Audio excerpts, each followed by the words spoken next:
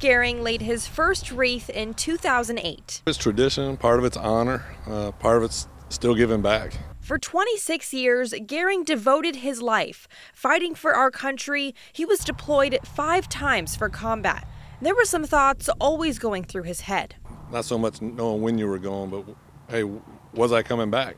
Uh, the best part was is I was doing it with, you know, some of my best battle buddies that I'll ever know.